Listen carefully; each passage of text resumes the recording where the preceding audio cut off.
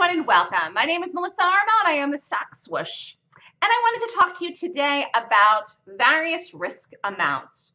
So you can trade my strategy on gaps with a small beginner account. You can also trade it with a large account. So what's the difference? The difference is your sizing.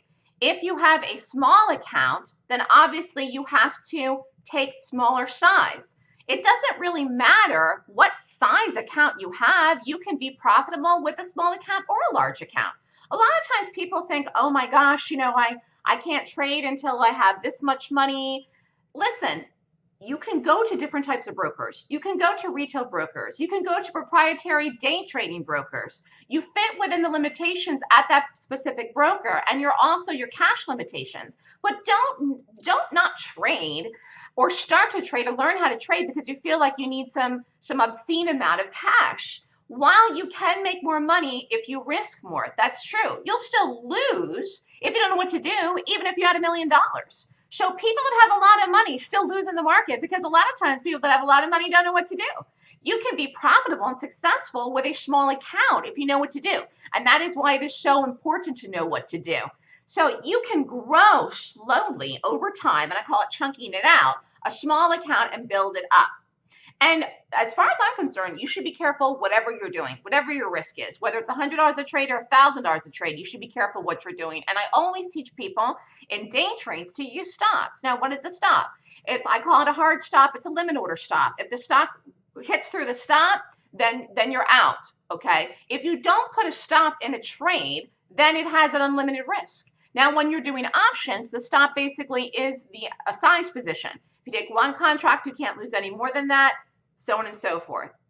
So essentially, the position is the stop amount. So the amount that you risk is the stop. That's the set amount. You can't lose any more than that. But if you're thinking about doing this, the most important thing is focusing on learning, getting good. And wherever you are, whether you have a small account or a larger account, you can build it over time. There's no rush, there's no emergency. I was talking to a gentleman the other day. He's really in a rush to get his account. He's been trading options up to the 25,000.